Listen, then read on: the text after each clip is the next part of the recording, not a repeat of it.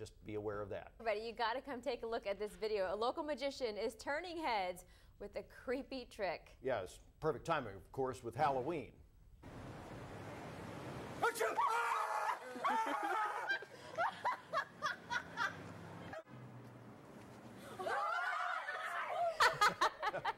That's the best one. Yeah, that's uh, that's Rich Ferguson uh, just losing his mind and the rest of his head there. Uh, scaring all sorts of unsuspecting people in great. Bubblegum Alley in downtown San Luis Obispo. I love that. It is already. He just Facebooked me this morning and said he's he posted it. Uh, I think the day before yesterday. 150,000 views already, and all sorts of websites are picking it up. Tosh.0, and he actually just got word that Yahoo called him is doing a front page story on it this morning. No kidding. Well, you can watch the video yourself at uh, ksby.com. Just click on the links section there.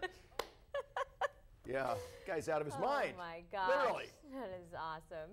Time right now, just about 5:31. We'll be right back.